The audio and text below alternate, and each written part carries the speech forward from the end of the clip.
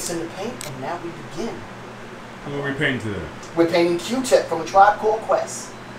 Yes, okay. And we're gonna go from darkest colors to lightest. A Tribe Called Quest. You only have one song. Oh man, it would have to be scenario, or can I? No, no. S- scenario is a um is a collaboration. It would have to be ele- electric relaxation. That's my song right there. Okay. Do you think art, or how do I say this, uh, actually physically painting on surfaces like you're doing will ever go the way like old school photography went to digital cameras, or you think there'll always be a lane for physical painting on? There's always gonna people always want. Listen, when you paint something, it's a piece of the artist that goes into the painting. So there's always gonna be a market for that, you know. But digital, it's an art form. Like there was a long time when there was a pushback against art that was made in Photoshop, and now it's recognized as like it's art. You create it, it's art. So we have to we have to respect it, art on all levels. Reference images. Yeah, I'm capturing all that. It's good. For your style, was it more you just out the gate did what came to you naturally, and then maybe like referenced people before you, generations before you, or did you study and then develop your own Yeah, style? the first thing I did is I just I kind of like envisioned what I would like to see on the wall, and then I just went through a little history lesson, and I was just looking for historical figures that I thought were important, like in Queens, you know, and the music was important too. The music was like the hardest thing to choose from. You know, a lot of people in their proposals they had 50 Cent and Nicki Minaj, but I wanted to do something more positive. Yeah. Do you feel every person should at least take an art class to see if it's something that's in them, or just for more appreciation, or is it more just you'll know it if it's meant for you type thing? Listen, I think that everyone should pick up a pen and draw. When I was younger, one of my friend's fathers, he told his son, he said, if you can draw a square, a circle, and a triangle, you could draw anything. And those are the basic shapes that make up everything. So he was right, and I always tell people that. If you can draw a square, a circle, and a triangle, then you can draw anything. Hmm. And you'd be surprised how much progress you'll make if you draw a little sketch like once a day. Believe me, like there'll be leaps and strides. But yeah, I think everyone should um everyone should take an art class, a dance class, music, play the piano. There are actually studies that show that it helps the brain waves.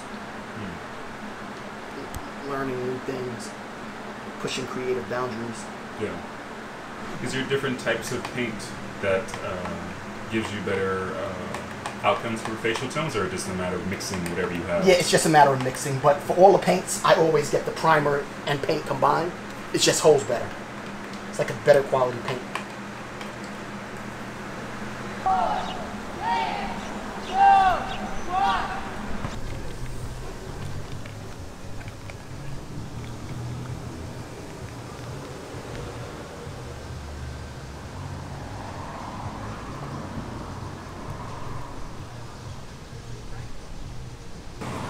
Prepping to paint today, Eric? Huh? What are you prepping to paint today? Oh my gosh. Um, I'm going to be doing Count Basie, and I'm going to do a little bit of this brickwork on this graffiti panel. Just playing my part.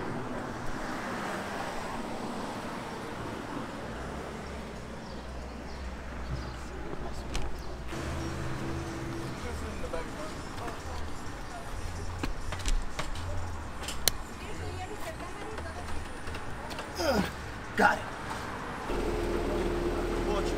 Oh, you do? Oh, you got any work on you? Art community is connected.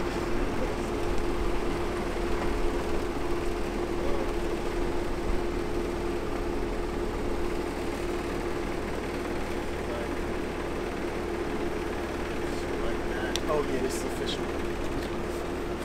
I don't know if you can see see some of this. Can you zoom in? Oh.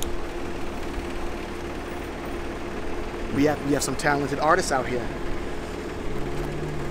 Yeah, so swipe through that. This is one of my, one of my favorites right there.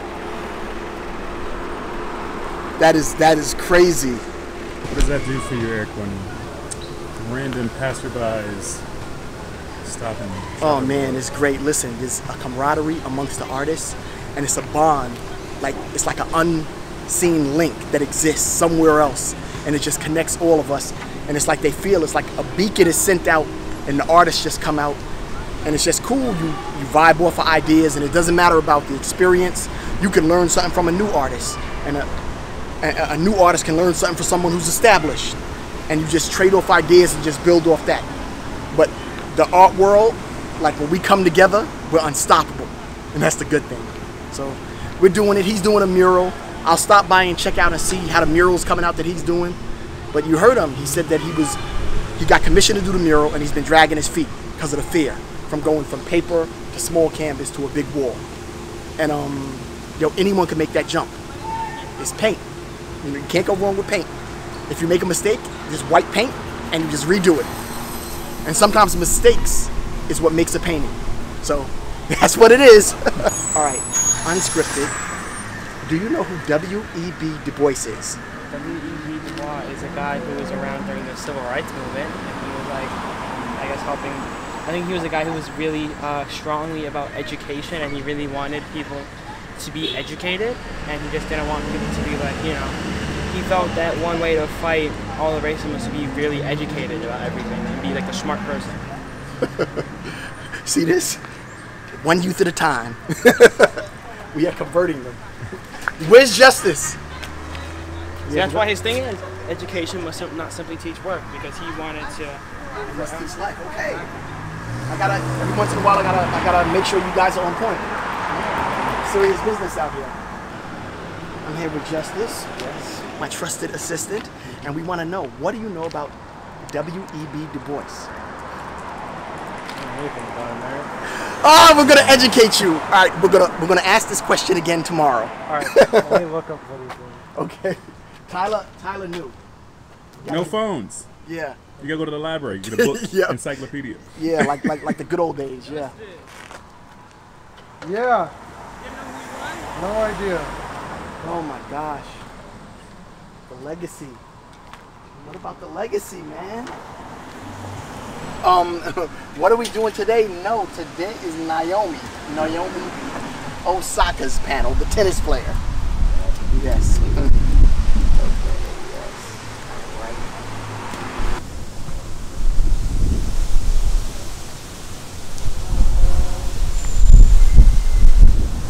When you're looking back and forth at the reference image, um, so my dad was famous for uh, yelling at my brother and I, like looking in the fridge. He would always say, "What do you keep looking back in there? Nothing's changed." Oh yeah. Is it uh, what is it that you're going through your mind when you're looking at the reference Oh no! image? Right now, I'm just checking the shadows and highlights. That's the main thing I'm checking, and I'm seeing where the shadows cut off and where the highlights cut off, and if I have to make another color to bleed in to bleed in between. Yeah, because it always looks a little bit different when you put it on the wall. Eric, does this particular park hold any sentimental value? You know, when I was younger, it was all about Camp Cool J. You know what I mean? Um, LL was like the biggest thing ever. You know, Mama said knock you out, classic songs. Um, I was never a basketball player. I was always into my art. So, but I had some friends who went to Camp Cool J when they was younger. Like some of my people in my neighborhood or my block who were a few years younger than me, and they loved it. So, Does that differ from the any popular paintings of uh, Jackie Robinson? Yes, it's, this is a famous picture of Jackie Robinson, but it's just drawn in that cubist style, so he looks like immortalized. So he almost looks like a statue.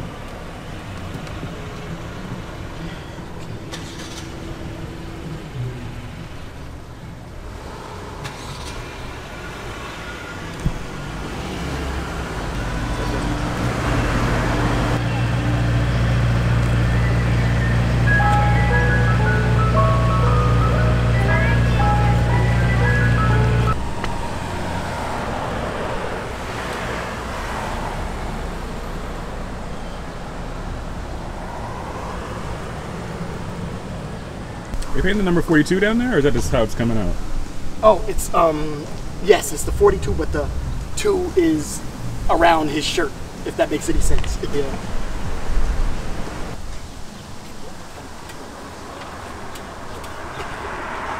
Eric, can you complete this sentence? Yes. Eric Black completes his best work when Oh, Eric Black, what?